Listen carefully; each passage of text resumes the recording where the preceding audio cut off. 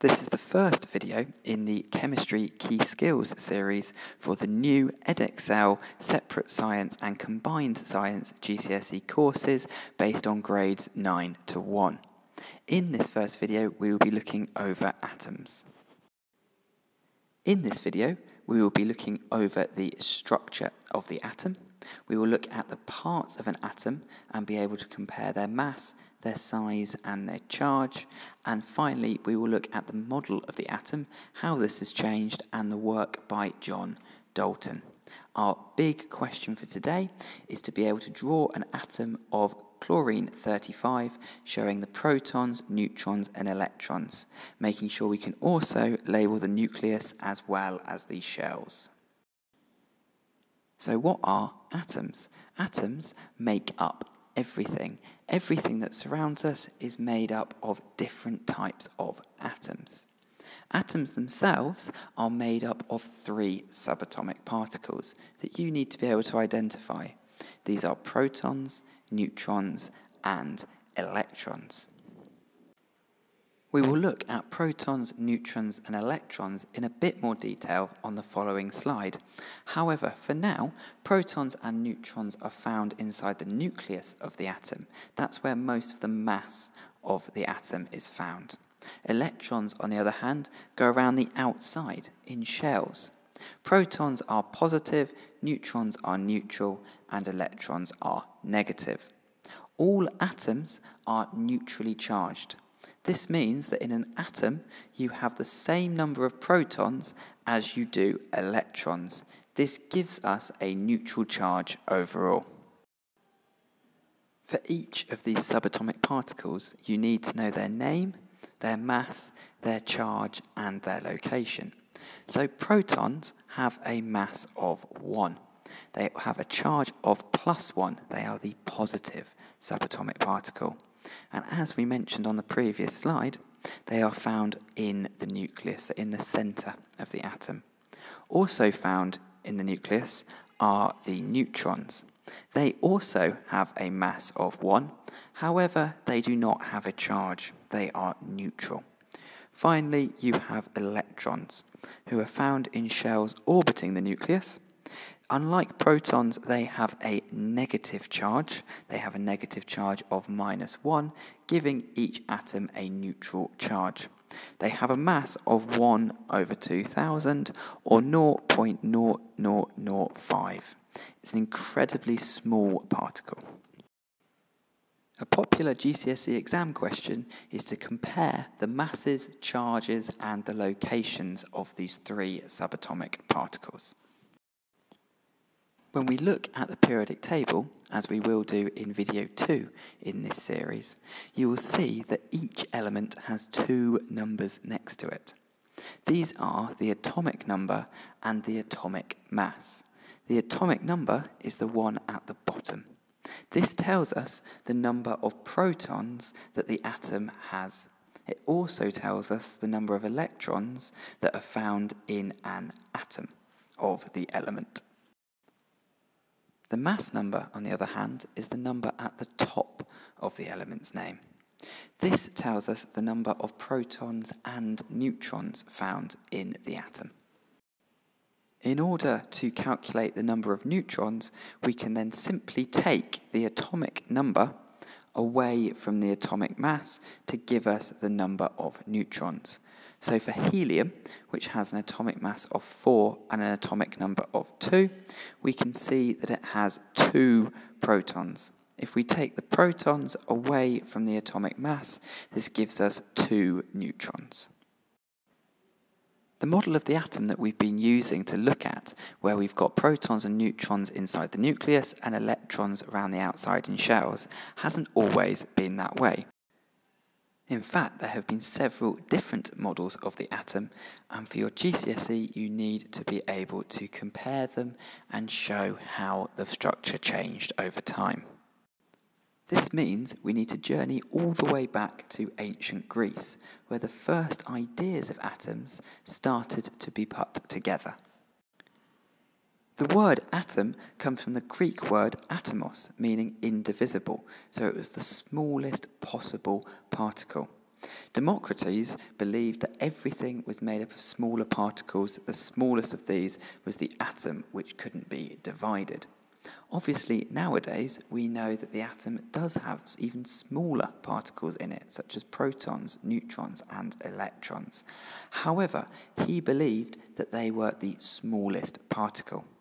His ideas wouldn't really be looked at again until the start of the 19th century with John Dalton.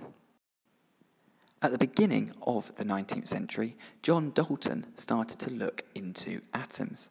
He described these as a solid sphere. And he also said that different types of these spheres made up the different elements that they knew about. He also investigated atomic mass. So here we have water, H2O, with a mass of 18. He suggested that this was made up of three solid spheres, the first of which had 16 mass units and two additional ones of one mass unit each, giving us the 18 mass units of water. By the late 19th century, J.J. Thomson took these ideas on further.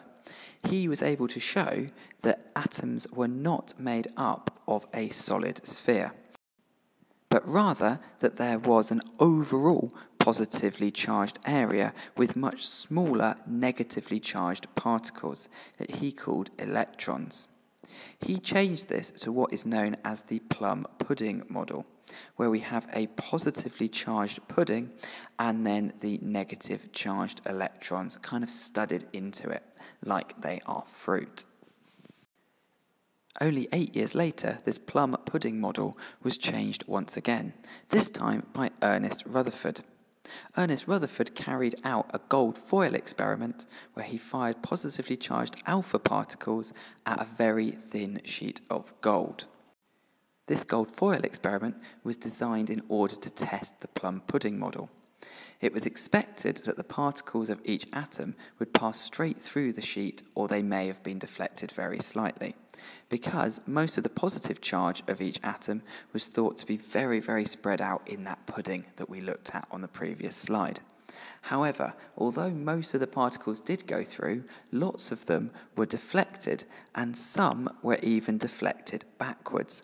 This meant that the plum pudding model couldn't be wrong. Rutherford came up with a new theory. He suggested that the positively charged particles occupied a space in the middle of the atom, known as the nucleus. He also suggested that electrons orbited around the outside. This meant that most of the atom is actually made up of empty space scientists realised that the electrons, in the way that Rutherford had explained them, would be too closely attracted to the nucleus, making the atom collapse in on itself. Therefore, a new model had to be created. Niels Bohr proposed this model, which we now use today, where the electrons were contained in shells. Bohr suggested that electrons can only exist within their fixed orbitals or shells. Each shell has a fixed energy. This prevents the electrons from being attracted to the nucleus.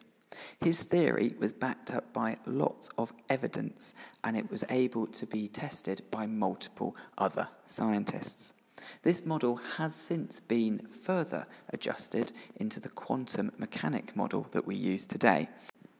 However, it is important that you are able to draw all four models that we have just looked at. So that includes Dalton, Thomson, Rutherford, and Bohr. As we can see, the model of the structure of the atom has changed many times over the last 200 years, starting with Dalton's billiard ball model, moving on to Thomson's plum pudding model, through Rutherford and Bohr's model, and then today into the quantum mechanic model. At the beginning of this tutorial, we set out to be able to describe the structure of the atom, identify the parts of an atom and be able to compare their mass, size and charge, and finally look at how Dalton's model of an atom has changed over time. To finish with, I want you to have a go at the big question. So I want you to draw an atom of 3517 chlorine showing the protons, neutrons and electrons, labelling the nucleus and the shells.